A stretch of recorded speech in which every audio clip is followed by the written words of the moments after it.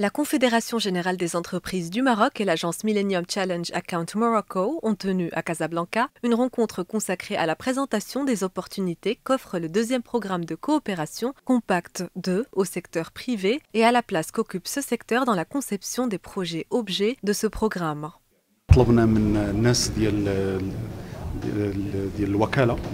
Nous avons convenu de tenir cette rencontre consacrée à la présentation des opportunités qu'offre le Compact 2 au secteur privé et à la place qu'occupe ce secteur dans la conception des projets objets de ce programme. Cette rencontre vise à la fois à jeter la lumière sur les projets en cours, que ce soit en termes de contribution aux chantiers nationaux, comme la formation professionnelle et le développement des zones industrielles durables, qu'en termes de participation à la mise en œuvre de ces chantiers dans le cadre des appels d'offres lancés par l'agence MCA Morocco.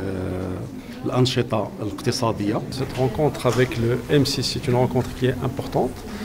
Euh, ça dénote euh, de la forte implication du secteur privé et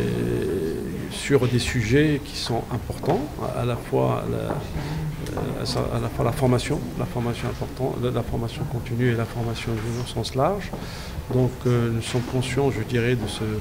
de l'implication et de, de, je dirais, de ce projet qui va permettre justement de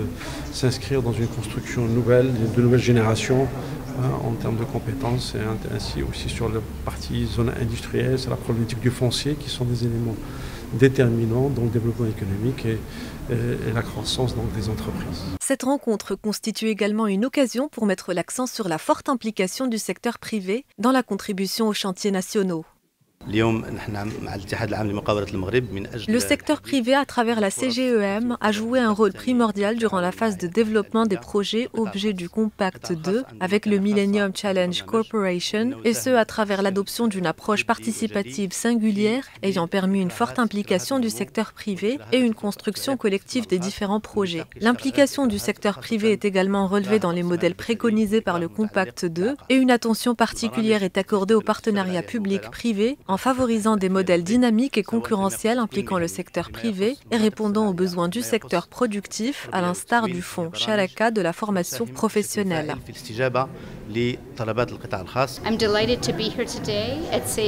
Je suis très heureuse d'être ici. À travers le soutien de la CGEM, nos investissements communs dans le foncier et dans l'éducation pourraient soutenir la prochaine vague de croissance économique au Maroc. Avec le Compact 2, les Américains partagent aujourd'hui un milliard de dollars avec les jeunes Marocains pour qu'ils puissent réaliser le rêve. Nous les aidons à travers l'éducation et les formations. Le secteur privé est engagé comme véritable partenaire.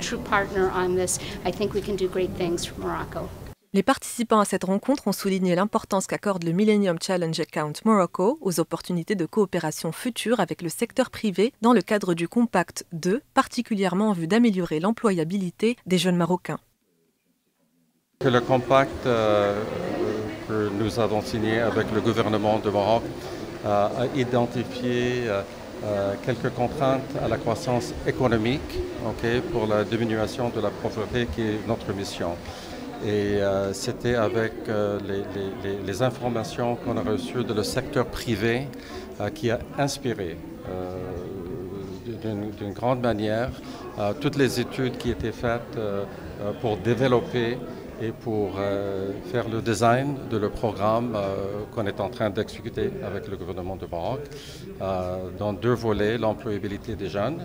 depuis sa création il y a 15 ans, l'agence Millennium Challenge Account Morocco, dont le portefeuille d'investissement s'élève à plus de 12 milliards de dollars, a largement développé ses activités en Afrique, qui s'accapare les deux tiers de son portefeuille, le Maroc en représentant la plus grande part, avec plus d'un million de dollars d'investissement cumulés entre le premier compact conclu en 2013, 698 millions de dollars, et le compact actuel, 450 millions de dollars.